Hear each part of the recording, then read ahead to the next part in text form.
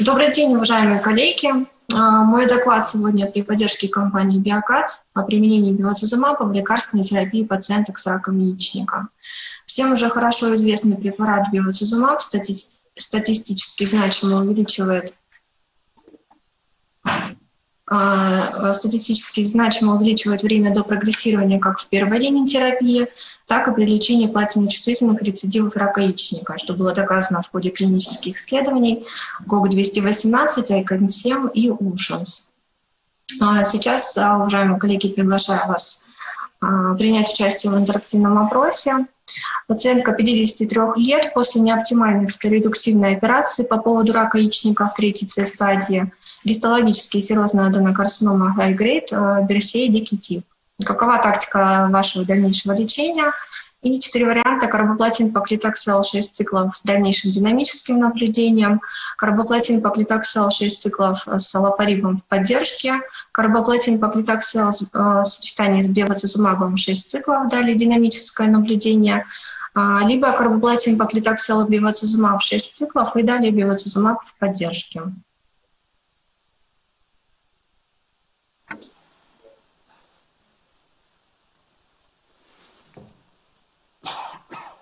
Голосование сейчас запущено у нас. Да?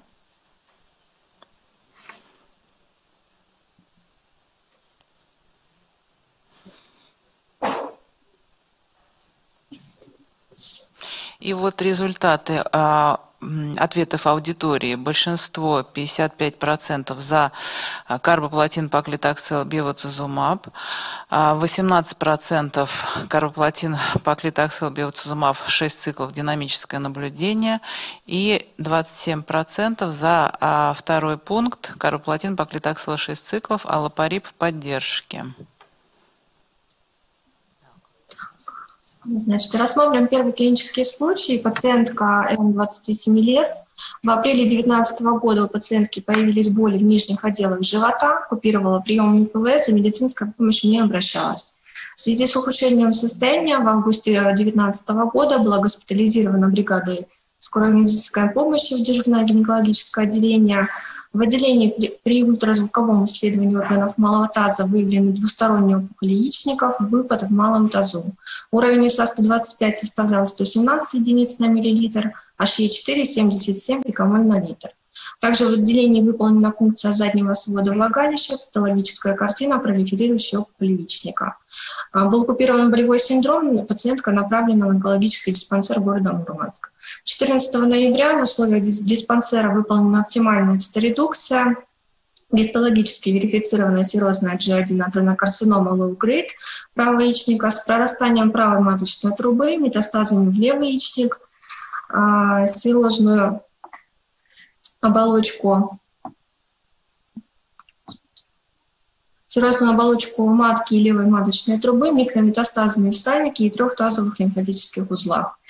А, гистологический материал был направлен на молекулярно-генетическое исследование. В адювантном режиме проведено 6 циклов платиносодержащих химиотерапии с января по июль 2020 года в сочетании с биоцизумабом. И в июле 2020 года при контроле МРТ малого признаков рецидива заболевания не выявлено. Уровень ИСа 125, 5-6 единиц на миллилитр – Консилиумом врачей а, Мурманского онкологического диспансера, диспансера было рекомендовано проведение терапии биоцизумабом в поддерживающем режиме. На данный момент пациентка продолжает получать антиангиогенную терапию, переносит ее хорошо, способна, и по, а, при, при оценке динамики картина стабильна, признаков прогрессирования не, не выявлено на данный момент. Следующий клинический случай. Пациентка М, 70 лет, в январе 2017 года пациентка отметила появление боли в нижних отделах живота и поясничной области. За медицинской помощью обратилась в апреле в связи с отсутствием положительной динамики на фоне приема анальгетиков. При ультразвуковом исследовании органов малого таза в апреле 2017 года выявлена опухоль правого яичника 9 см и минимальный асцит. Уровень ИСА 125 составлял 309 единиц на миллилитр, а HE4 – 388 пикомоль на литр. А, сопутствующие заболевания артериальной гипертензии и сахарный диабет второго типа. 11 июля 2017 года в условиях онкодиспансера города Мурманск выполнена первичная оптимальная циторедукция. Гистологически верифицирована серозная G2 аденокарцинома правого яичника 10 см с прорастанием капсулы, сальник маточной трубы левый яичник без метастазов. С августа по декабрь 2017 года проведено 6 циклов э, химиотерапии по клитоксел, карбоплатин. И далее э, регулярно посещала онколога Бурманского онкологического диспансера. В сентябре 2019 года при контрольном осмотре отметила появление боли в нижних отделах живота.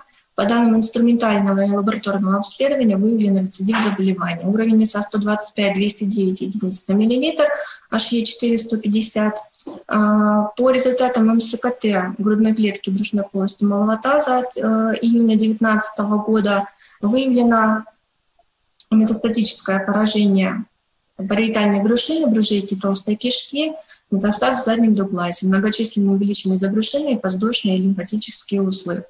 С ноября 2019 года по февраль 2020 года проведено 5 циклов э, химиотерапии по клитоксел карбоплатин – в сочетании с терапией биоцизумабом.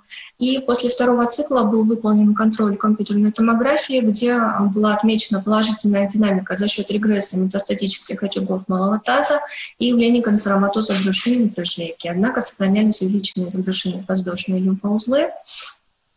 А, значит, на шестой цикл химиотерапии пациентка не явилась. При дальнейшем обращении также через консилиум врачей было рекомендовано продолжить терапию бивацизумабом амбулаторно в поддержке. На данный момент она продолжает э, э, терапию бивацизумабом в поддерживающем режиме. МСКТ в мае и в августе 2020 года картина стабильна. А, значит, уровень ИСА 125 в июне 7,58 единиц на миллилитр, в сентябре 2020 года 8,34 единицы на миллилитр. А, переносит терапию хорошо, пенсионерка не работает, а, признаков декомпенсации по сопутствующей патологии не выявлено. Так, и третий случай. Значит, пациентка 49 лет в июне 2017 года отмечает появление интенсивных болей в нижних отделах живота, в связи с чем обратилась за медицинской помощью по месту жительства. При ультразвуковом исследовании малого таза выявлены множественные жидкостные образования яичников, очаговое образование париетальной брюшины, заподозрено заболевание яичников. Уровень ИСА 125 1250 единиц на миллилитр. 30 июня 2017 года в онкодиспансере города Мурманск выполнена оптимальная циторедукция гистологически верифицированная эндометриоидная аденокарцинома G3 обоих яичников а, с метастазами в связках матки и большом сальнике. А, выполнен первый цикл адювантной химиотерапии по клитоксел карбоплатин, и на фоне лечения была выявлена опухоль левой молочной железы. В сентябре 2017 года выполнена трипан-биопсия опухоли левой молочной железы, гистологически верифицирован низкодифференцированный рак со склерозным ростом, возможно, дольковый. По результатам иммуногистохимического исследования выявлен статус э, рецептора эстрогена 2, рецептора прогестерона 0, HER2, NEO1+. А, далее проведено 5 циклов химиотерапии, из них 3 цикла поклитоксел карбоплатин и 2 цикла доксорубицин карбоплатин. В марте 2018 года выполнена радикальная мастектомия помадону слева, гистологический инвазивный G2 рак молочной железы неспецифического типа 1,5 см с хорошо выраженным лечебным патоморфозом, метастазов в регионарных лимфоузлах не выявлено. Проведено еще два цикла децитаксел цисплатин, и далее а, планировалось в сочетании с биоцизумабом, и далее планировалось продолжение терапии биоцизумабом а, в поддержке. Однако в связи с отсутствием препарата пациентка была оставлена под динамическое наблюдение. И, а, значит, Таким образом, она у нас состоит на учете прилично множественный синхронный рак, рак левой молочной железы первая стадия и рак яичников третья Б стадия, комплексное лечение 17-18 год. В феврале 2020 года у пациентки появились жалобы на нарушение стула, боли в животе. При обследовании по результатам МРТ и цитологического исследования выявлен рецидив рака яичников. Гистологический материал от июля 2017 года после первичной циторедукции был направлен на молекулярно-генетическое исследование, выявлена мутация берсилии. Пациентка была направлена в инвиц онкологии имени Петрова с целью решения вопроса о возможности повторной циторедукции. В мае 2020 года проконсультирована и 19.06.2020 года выполнена повторная полная циторедукция в условиях НИИ э, Петрова Санкт-Петербурге. И э, гистологически выявлен рецидив тубоавариальной серозной карциномы high-grade в строме шейки матки в виде узла 2 см и в стенке кишки в виде узла 3 см. Также выявлены метастазы в двух из трех параректальных лимфоузлах, край резекции прямой кишки и остальные лимфоузлы без опухолевого роста. А в условиях Петрова, э, не онкологии имени Петрова проведен первый цикл поклитаксел карбоплатин. Далее пациентка вернулась в Мурманск и продолжает э, курсы химиотерапии. На сегодняшний день проведено пять курсов, э, планируется шестой э, с последующим э, с последующей терапией паркингибитором аллопари, учитывая агрессивную мутацию. И в заключении своего доклада значит, хочу предложить вам еще один интерактивный опрос. Пациентка 60 лет с диагнозом рак яичника в третьей стадии, гистологический тип опухоли серозная аденокарцинома high-grade, комплексное лечение по декабрю 2018 года, выполнялась неоптимальная циторедукция, 6 циклов химиотерапии карбоплатин поклитоксел в сочетании с терапией биоцизумабом, прогрессирование зарегистрировано в октябре 2020 года канцероматоз брюшинный асцит – какую бы тактику лечения выбрали для этой пациентки. Платиносодержащая химиотерапия 6 циклов с динамическим наблюдением, платиносодержащая химиотерапия в сочетании с биоцизумабом 6 циклов, далее биоцизумаб с аллопарибом в поддержке, платиносодержащая химиотерапия в сочетании с биоцизумабом 6 циклов, далее динамическое наблюдение, либо платиносодержащая химиотерапия, далее аллопариб в поддержке.